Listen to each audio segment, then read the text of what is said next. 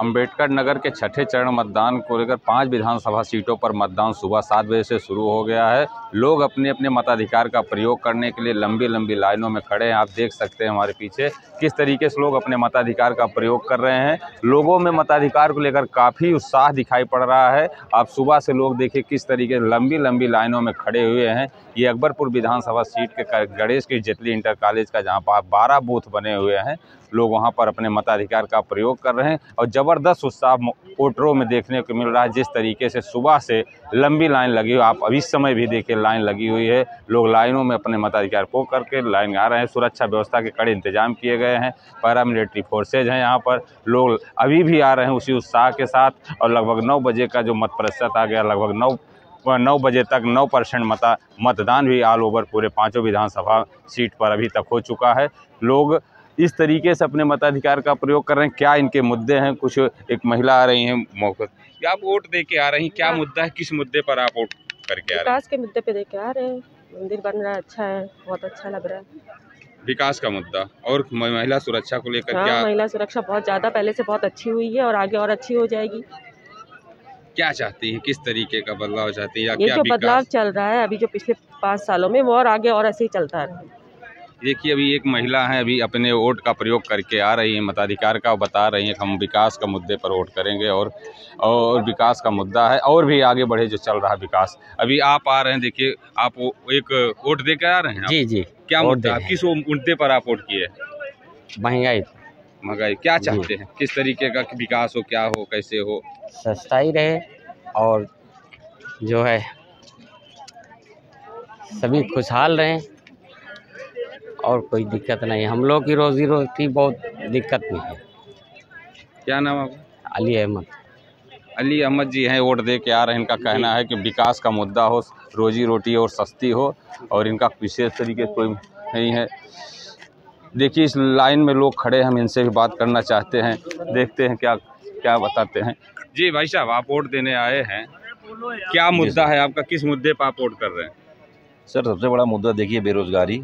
और सबसे बड़ी चीज़ की रोजी रोटी ख़त्म होना और उसके बाद सर अभी अब ये देख रहे हैं हम लोग की सबसे बड़ी चीज़ ये है कि हर जगह सबसे बड़ी परेशानी ये है कि कोई चीज़ जैसे मुद्दा बोलते हैं कि ये ये हुआ ये हुआ ऐसा कोई चीज़ कोई चीज़ ऐसी हुई नहीं सर जो हम उससे इत्मीनान हो और हम इस बेस पर वोट देने आए सर कि इस बार कुछ बदलाव चाहिए और इस बार हम लोग बदलाव करने आए हैं सर। आप किस मुद्दे पर आप वोट किए? महँगाई। महँगाई क्या चाहते हैं? किस तरीके का विकास हो क्या हो कैसे हो? सस्ताई रहे और जो है सभी खुशहाल रहें और कोई दिक्कत नहीं। हम लोग की रोज़ी रोटी बहुत दिक्कत में है। क्या नाम आपका? अली अहमद। अली अहमद जी हैं वोट दे के आ रहे हैं। इनका कहना है कि विकास का मुद्दा हो रोजी रोटी और सस्ती हो और इनका विशेष तरीके से कोई नहीं है। देखिए इस लाइन में लोग खड़े हैं हम इनसे भी बात करना चाहते हैं देखते हैं क्या क्या बताते हैं। जी भाई साहब आप वोट देने आए हैं। क्या मुद्दा है आपका? किस मुद्दे पर आप वोट कर रहे हैं?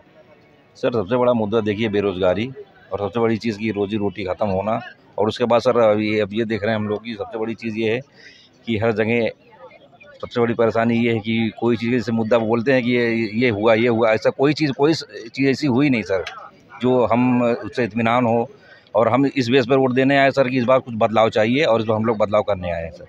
आप हैं युवा भी हैं और यहाँ वोट देने आए कह रहे हैं हमें बदलाव चाहिए इसलिए हम और महँगाई और सस्ताई के लिए वोट देने के लिए यहाँ आए हैं।